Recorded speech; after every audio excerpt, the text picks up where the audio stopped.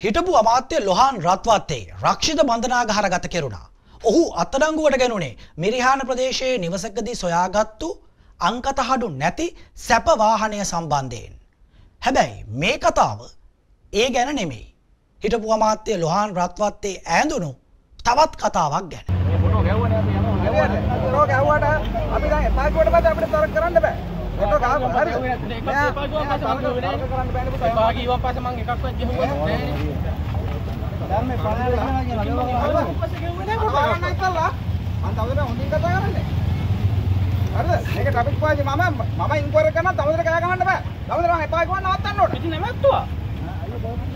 ඉතින් මහත්තුව හරි ඔයා අහන්නේ නැමැත්තුවා. කොහොමද?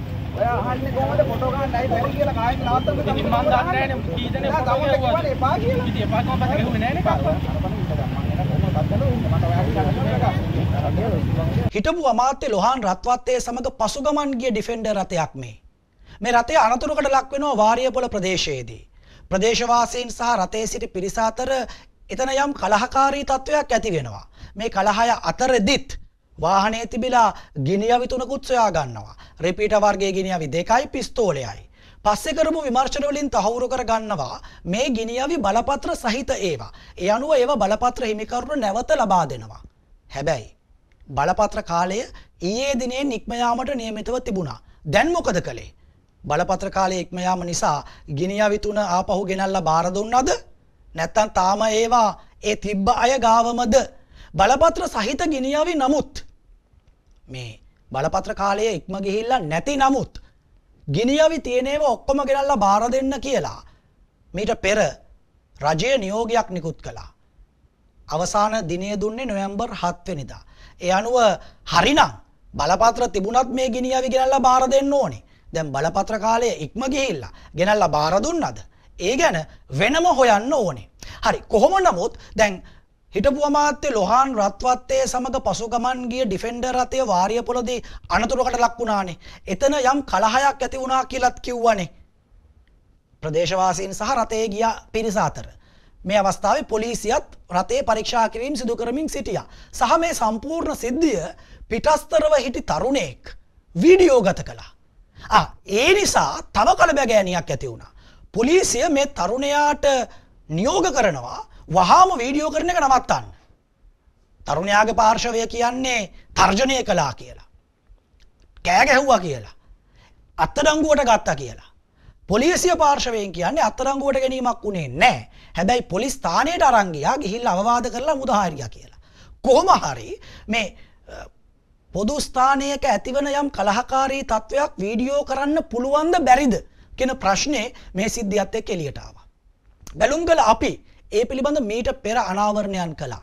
පොදු ස්ථානයක ඇතිවන මේ වගේ කලහකාරී තත්ත්වයක් වීඩියෝ ගත කිරීම සම්බන්ධයෙන් පුරවැසියෙකුට තියෙන හිමිකම මොකක්ද. පුරවැසියෙකුට තියෙන වගකීම මොකක්ද. එතනදි පෙන්වා දෙන්න අපි උත්සාහ කළා. මේ බැලුම්ගල අනාවරණයෙන් පස්සේ පොලිස් මාධ්‍ය ප්‍රකාශකවරයා මේ ගැන කරුණු දැක්වා. උදාහරණයක් විදිහට මේ වාරියපොළ සිද්ධිය ගත්තොත් දැන් ගොඩක් වෙන්නේ මේ වීඩියෝ කිරීමේදී කාටවත් අත්- අ, කලින්ම කියනවා නම් එහෙම තහනමක් නැහැ කොහෙවත්. මේ පවතින නීතිය යටතේ වීඩියෝ එකක් කරන එකක් සම්බන්ධව තහනමක් නැහැ. හැබැයි යම්කිසි පුද්ගලයෙක් තව පුද්ගලයෙකුට හානියක් වෙන ආකාරයට. ඒ කියන්නේ දැන් වීඩියෝ කරන කෙනා දැනගන්න ඕන මම වීඩියෝ කරොත් මෙවැනි කාරණයකදී මට මේක කොච්චර බලපායිද කියලා හැඟිලා තමයි අනිත් පුද්ගලයාගේ වීඩියෝ කළ යුත්තේ. ඉතින් පුද්ගල මොකද පෞද්ගලිකත්වයට හානි නොවිය යුතුයි. ඒ වගේම තමයි මේ වීඩියෝ කරන කෙනා ඒ සිද්ධිය මැදට පැනලා ඒකට බාධා වෙන ආකාරයට ඒක අයිතිවාසිකමක් විදිහට කටයුතු කරන්න ගියොත් තමයි මේ ප්‍රශ්නේ එන්නේ. බාහිරින් ඉඳගෙන මේ වීඩියෝ එකක් ලබා ගැනීම ප්‍රශ්නයක් වෙන්නේ නැහැ. ඒ නිසා ගොඩක් වෙලාවට වෙන්නේ සිද්ධියට මැදිහත් වෙලා තියෙන වෙනත් පාර්ශවයක්. එතකොට මේ වීඩියෝ කරන කෙනා ගිහිල්ලා ඒ පාර්ශවයට මැදිහත් වෙලා ඔහු මේක අයිතිවාසිකමක් විදිහට අ, කටයුතු කරන්න ගියාම තමයි මේ ගැටුම් ඇති වෙන්නේ. ඒ නිසා බාහිරින් ඉඳගෙන අ, මේ වීඩියෝ කිරීම අ, සම්බන්ධයෙන් බාධාවක් ඇති වෙන එහෙම ඕන තරම් වීඩියෝ කරලා තියෙනවා. ඔබතුමා කිව්වා වගේ ඒවා අ, විමර්ශන වලටත් ඉතාම වැදගත් වෙනවා. හැබැයි දැන් බ්‍රිතාන්‍යයේ වුණත් තියෙන නීතිය තමයි CCTV එකක්වත් අ, CCTV ගෙදරක නමංගේ නිවසක හයි කරන CCTV එකක්වත් තමාගේ අල්ලපු නිවසේ මිදුලවත් පේන්න බෑ.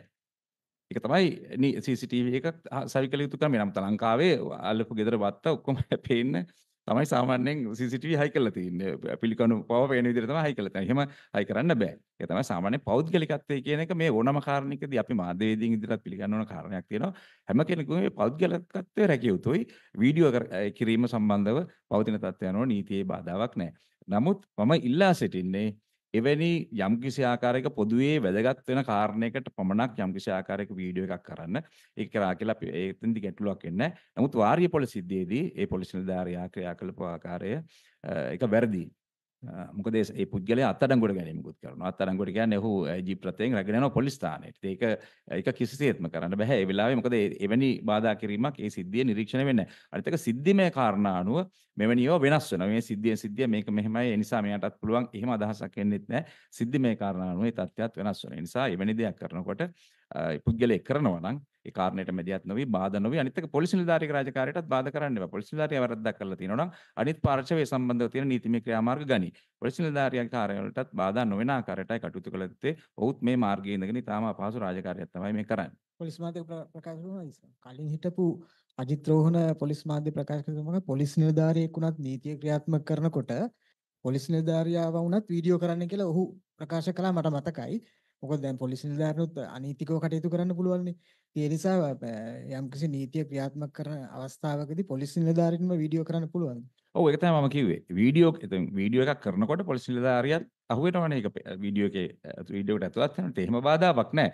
මම කියන්නේ පොලිස් නිලධාරියා ත- දැන් අ, උදාහරණයක් විදිහට දැන් යම්කිසි විමර්ශනයක් කරන අවස්ථාවක පොලිස් නිලධාරියාට සිද්ධ වෙනවා එතන අයගෙන් යම් යම් සාක්ෂි වගේ විවිධ දේවල් අහන්න. ඒ කියන්නේ මොන කොහොමද දැක්කද මොනවා හරි දේවල්. දැන් මේ වගේ දෙයක් ගිහිල්ලා පුද්ගලිකව ඒ කටහඬත් එන විදිහට වීඩියෝ කරගත්තාම ඒක විමර්ශනයට බාධාවක්. ඉතින් එවැනි විම- ඒ- එයින් වෙන්නේ යුක්තිය පසුලදීමේදී අනෙක් පාර්ශවයට බාධාවක් සිද්ධ වෙනවා. ඒ කියන්නේ හානියක් සිද්ධ වෙනවා.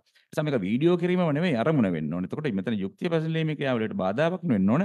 වින්දිතයට සාධාරණයක් වෙන්නත් ඕන. එයට බාධාවක් නොවන ආකාරයට යම්කිසි සිද්ධියක් වීඩියෝ කරලා ඒක ප්‍ර- ප්‍රශ්නයක් නෙවෙයි. නමුත් මේ මැදිහත් වීම සහ එවැනි කාරණා පිළිබඳව තමයි අවසරයකින් තොරව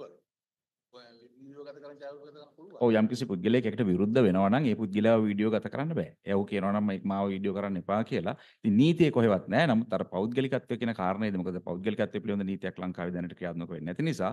නමුත් සාමාන්‍ය ක්‍රමවේදය තමයි තමන්ගේ පුද්ගලිකව යම්කිසි කෙනෙක් විරුද්ධ වෙනකොට ඒක වීඩියෝ කරනවා නම් ඒක වැරදි කියන අදහස තමයි සාමාන්‍යයෙන් තියෙන්නේ. පොලිස් මාධ්‍ය ප්‍රකාශකවරයාගේ මෙම කරුණු දැක්වීමට අතිරික්තව පොලිස්පතිවරයා චක්‍රලේඛයක්ද නිකුත් කරනු ලැබ තිබෙනවා. කලහකාරී සිද්ධියක් පොදු ස්ථානයකදී වීඩියෝ ගත කිරීම සම්බන්ධයෙන් නීති තත්ත්වය ඇති අයිතීන් පිළිබඳ එහිදී පැහැදිලි කිරීමක් කෙරෙනවා.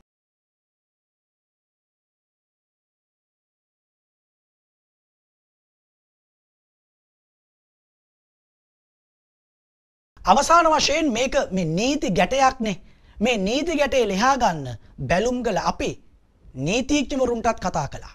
පොදු ස්ථානයක යම් සිදුවීමක් වෙච්ච අවස්ථාවක සාමාන්‍ය පුරවැසියෙකුට ඒ සිදුවීම වීඩියෝ ගත කිරීමේ නීතිමය හැකියාවක් තිබෙනවද? ඔව් සාමාන්‍යයෙන් අපරාධයක් සිද්ධ වෙනකොට අපිට සෑම පුරවැසියෙකුටම වගකීමක් තියෙනවා ඒ අපරාධය වළක්වා ගැනීම සම්බන්ධ. මොකද අපරාධයක් සිද්ධ වෙන්නේ මුළු මහත් සමාජයටම එරෙහිව. එතකොට ඒක නිසා එවැනි අවස්ථාවක අපරාධයක් වාර්තා කිරීමට එහෙම නැත්නම් අපරාධය සම්බන්ධයෙන් සාක්ෂියක් වශයෙන් අදාළ පුද්ගලයා අදාළ වීඩියෝ පටිගත කිරීම සිද්ධ කරනවා නම් ඔහුට බාධා කිරීමේ හැකියාවක් නැහැ. නමුත් අපි බලන්න ඕනි චිරාන් එවැනි පටිගත කිරීමක් සිදු කරන පුද්ගලයාගේ අරමුණ වෙන්නේ මොකක්ද කියන එක. එතකොට යම්කිසි පුද්ගල කණ්ඩායමක් අපහසුතාවයකට පත් කිරීමට හරි එහෙම නැත්නම් වෙනත් ආකාරයේ අනවශ්‍ය ක්‍රියාවලියක් සඳහා ප්‍රසිද්ධියක් ලබා ගැනීමට වැනි කරුණක් සඳහා නම් අදාළ වීඩියෝ ගත කිරීම කරලා ඒක භාවිත කරන්නේ ඒකට ඉඩක් හම්බ වෙන්නේ නැහැ. එතකොට මේ පුද්ගලයාට එරෙහිව යම් ආකාරයකින් ගත්තොත් සමහර අවස්ථාවලදී අපහාසය සම්බන්ධයෙන් උත් නඩු වලට මුහුණ දෙන්න ඔහුට සිද්ධ වෙනවා. අදාළ වින්දිත පාර්ශවය විසින් සිවිල් නඩුකරයක් ගොනු කළොත්. අනිවාර්ය වශයෙන්ම එවැනි සිද්ධියකදී එවැනි අවස්ථාවකදී අපරාධ විමර්ශනාංශ වලට සහාය දීම සඳහා සාක්ෂියක් විදිහට අදාළ වීඩියෝ පටිගත කිරීම සිද්ධ කරනවා නම් ඒකට බාධා කිරීමේ හැකියාවක් නැහැ. හැබැයි ඒ වගේම පොලිස් නිලධාරීන්ටත් හැකියාවක් ලැබෙන්නේ නැහැ මුල් අවස්ථාවේදීම ඒ පුද්ගලයාට ගිහිල්ලා වීඩියෝ කරන්න එපයි කියලා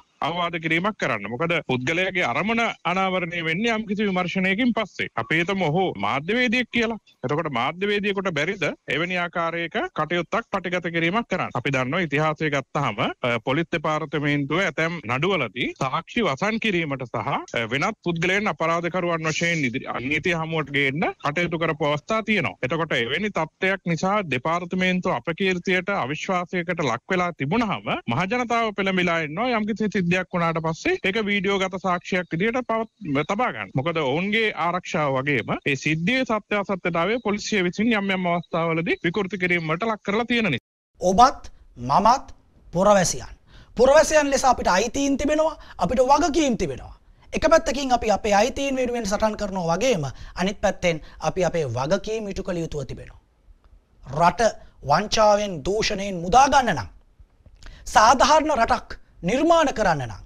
ඔබ මම අපි සියලු දෙනා ඒ වගකීම් ඉටු කළ යුතු වෙනවා. එනිසා නොබියව වගකීම් ඉටු කරමු.